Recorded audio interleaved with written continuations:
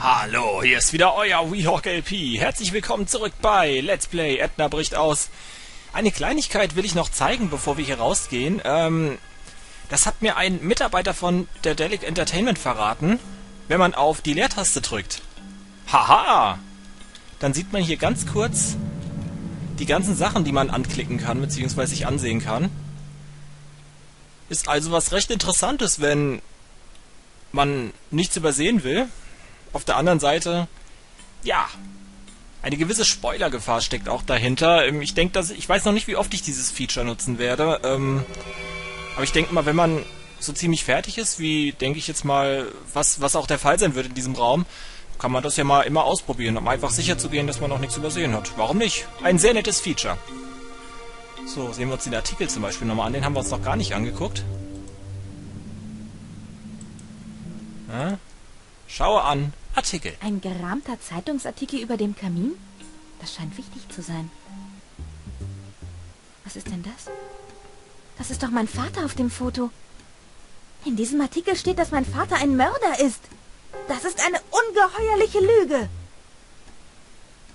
Das ist eine ungeheuerliche Lüge. Nichtraucher in Streichelzoo vermisst. Oh! Okay.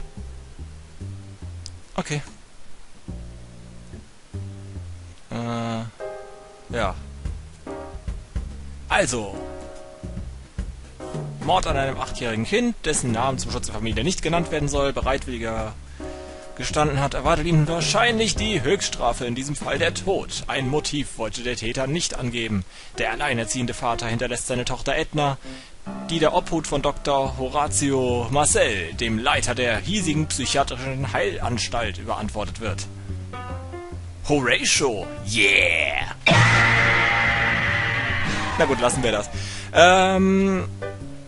Okay. Das sind nützliche Informationen. Also der arme Kerl wird des Mordes beschuldigt. Schrecklich. Gut. Sollen wir nun hier rausgehen? Oder sollen wir noch was mit dem Wächter machen? Ich meine, wir könnten ihm nochmal eins mit äh, unserem guten alten Poloschläger verpletten. Was könnte ich tun?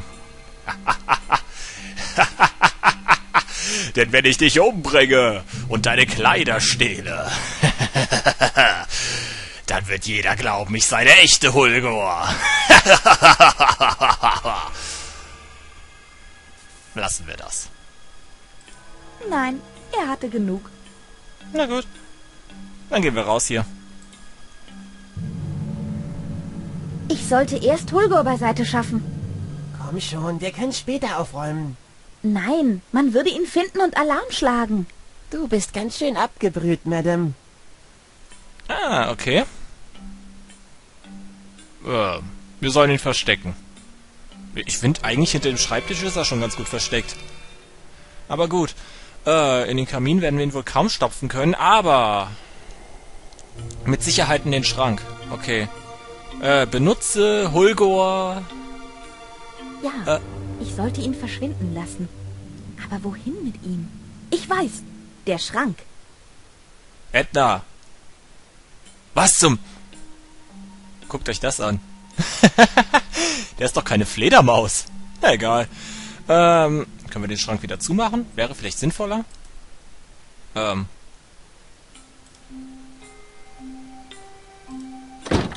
Genau. Das wäre nämlich sinnvoller. Sehr gut. Jetzt, wo der gute alte Hulgor kein Problem mehr dasteht, werden wir als erstes noch einmal speichern. Das ist ganz wichtig. Zack. Und nun. Nichts wie raus hier.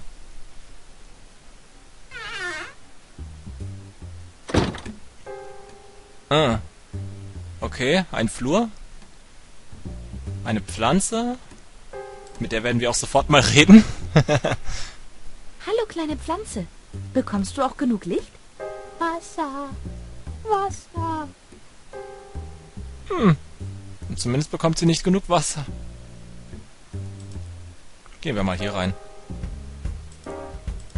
Ja, benutze Tür. Klar, wir können auch einfach hingehen, würde ich mal sagen. Geht ja auch. Im Zweifelsfall. Wowi. Okay. Radioaktiv. Oh mein Gott. O Geist der Flasche, gewähre mir einen Wunsch. Was willst du, Meister? Ich will, dass Dr. Marcel Hämorrhoiden bekommt. Dein Wunsch ist gewährt. sehr, sehr gut. Sehr, sehr gut. Okay. Was haben wir denn noch hier Schönes? Die Alf-Puppe. hässliche Kartoffel, dieser Alf. Echt? Ich finde ihn gar nicht so hässlich. Oh nein, jetzt sag nicht. Jetzt sag nicht, da drin wird was konserviert. Ih!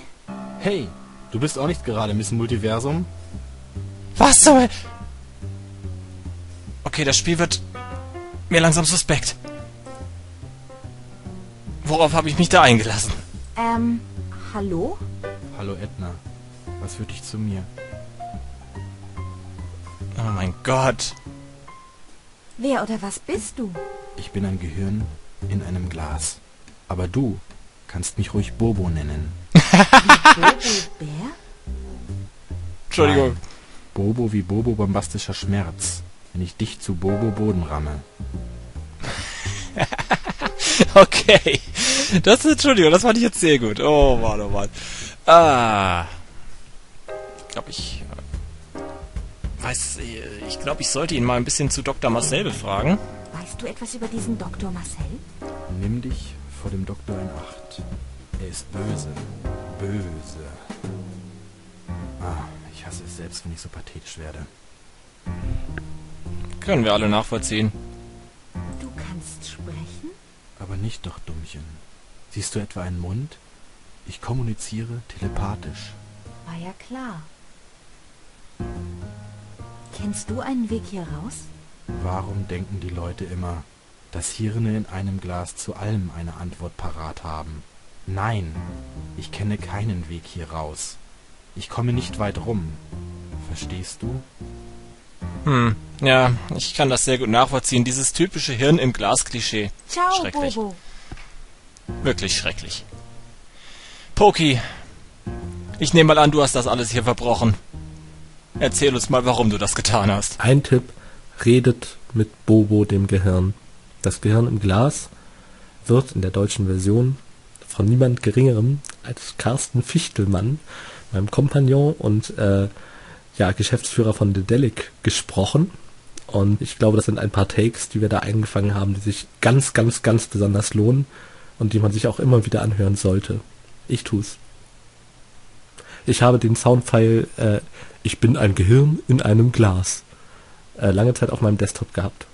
Bei jeder Gelegenheit abgespielt.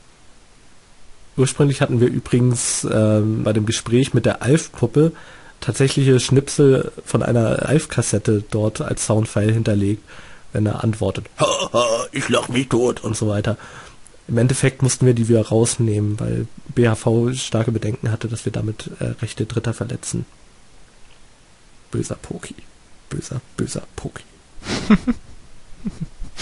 Wer sich übrigens in Edna Bricht ausgeärgert hat, dass er die Bowlingkugel hier unten links im Regal nicht mitnehmen durfte, bei Harveys Neue Augen kann man sie endlich mitnehmen. Ein Makel im Game Design, der mir einfach immer sehr schwer auf der äh, Galle gelastet hat und den ich jetzt wieder wettgemacht habe. In Harveys Neue Augen. Besucht ihr diesen Raum und ihr könnt die Bowlingkugel nehmen. Freut euch drauf. Ich freue mich. Nehmt auf jeden Fall das Captain Unbrauchbar Comic mit. Also das Heft, das äh, dort auf diesem Zeitschriftenstapel liegt.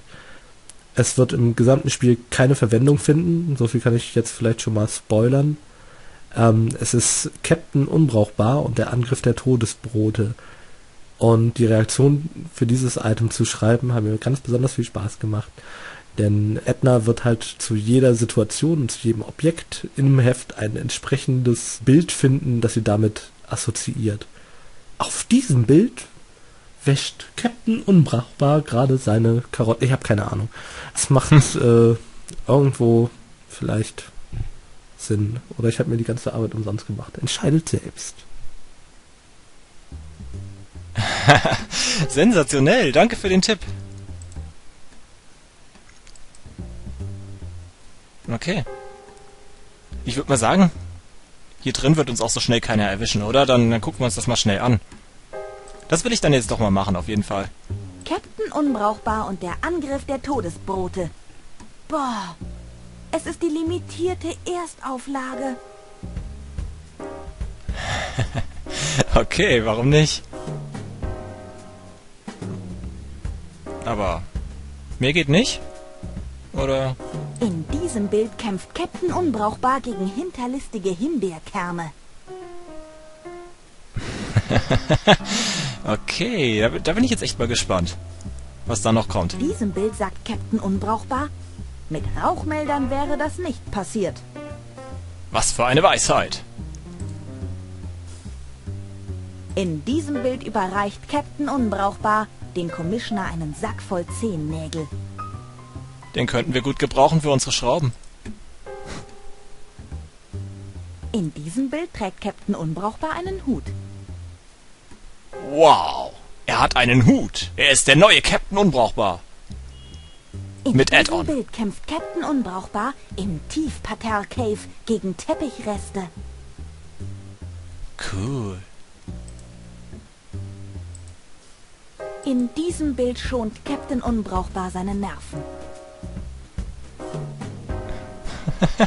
Das ist auch mal nötig. In diesem Bild sucht Captain Unbrauchbar die zehn Fehler im nächsten Bild. Wow. In diesem Bild sagt Captain Unbrauchbar, vertragt euch wie echte Politiker. Das ist so geil gerade. Ich glaube wieder nicht, wie viel Spaß ich gerade habe. Oh Mann, ich liebe dieses Comic. Okay, war's das oder? Oh Mann, ich liebe dieses Comic. Ja, Tatsache. Oh, das ist, das ist, oh, das ist so schön. Nette kleine Spielerei für zwischendurch. Gut. Okay. Was haben wir denn hier noch? Benutzen wir einfach mal wieder die Leertaste. Wäsche, Reagenzgläser, ein Lichtschalter. Ähm, wird man Wahrscheinlich habe ich die falsche Auflösung, jetzt die falsche Bildschirmauflösung gewählt, weil hier ähm, das Wort Lichtschalter ist bei mir jetzt abgeschnitten. Ich denke auch mal, dass das dann auf der Aufnahme so der Fall sein wird. Äh, bitte ich zu entschuldigen. Ah, gut, okay. Sehen wir uns mal die Kartons an. Was da wohl drin ist?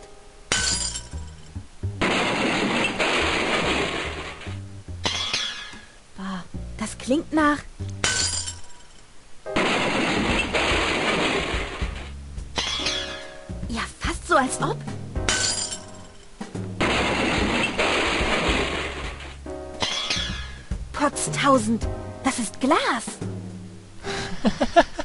Ist das geil. Der Gesprächsstoff zwischen mir und den Kartons ist begrenzt. Wir kommen aus unterschiedlichen sozialen Mikrokosmen. Das ist richtig, aber auf der anderen Seite, sich untereinander austauschen. Das ist äh, gerade der Austausch zwischen den einzelnen Lebewesen und Kulturen ist doch ganz wichtig heutzutage. Also ich hätte mit den Kartons geredet. Einfach vielleicht, um mir mal den Blickwinkel äh, von, von Kartons einfach irgendwie zu ermöglichen zu bestimmten Themen, die uns alle bewegen, wie Politik oder... Okay, ich sollte vielleicht damit aufhören. Ich sollte vielleicht mal gucken, was hier äh, ist. Ja, genau. Sehen wir uns mal das Fenster an. Ganz schön hoch hier. Bin ich etwa in einem Turm gefangen? Wie romantisch. Was ist daran romantisch? Ich finde das schrecklich. Oh Gott. Äh, gut, dann machen wir mal das Fenster auf, würde ich mal sagen, wenn es geht. Wahrscheinlich geht's nicht, ich kenne euch. Es geht. Ich kenne euch doch nicht. Okay. Ähm, es geht einfach so? So einfach lasst ihr mich hier raus? Hm, bestimmt nicht. Wir sind hier in einem Turm. Ihr lasst mich bestimmt nicht so einfach raus. Beziehungsweise Edna wird sich wahrscheinlich weigern, da einfach rauszuklettern. So ein alter Adventure-Mania. Das kann ich nicht machen. Sie kann es doch machen. Aber... Wow. Gehe zu unten. Rede mit unten. ja klar. Ja klar. Oh Gott. Hallo! Niemand hört mich. Das ist sehr traurig. Hm.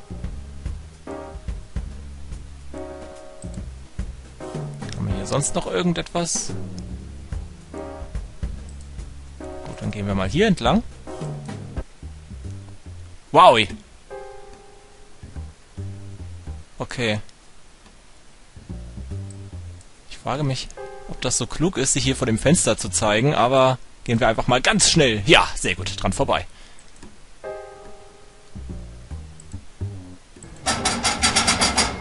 Das kriege ich so nicht auf. Ich brauche mein Werkzeug. Mhm. Gut. Oder sind da wieder Schrauben dran? Nein, damit lässt sich das Gitter nicht aufschrauben. Okay, es sind Schrauben dran. Tja, werden wir hier jemals wieder runterkommen? Wie werden wir es wohl schaffen, hier auszubrechen? Äh, ich wollte eigentlich speichern. Ja, würde mehr Sinn machen. Was hat Poki dazu zu sagen im nächsten Part? Ja, ich bin schon sehr gespannt. Bis dann, euer WeHawk LP.